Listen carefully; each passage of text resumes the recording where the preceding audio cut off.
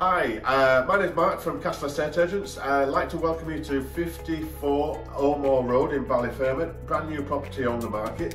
Um, have a look at the virtual tour, have a look at the photos, and if you want to come and have a look at the property, give us a call or drop us an email. Thanks ever so much for looking.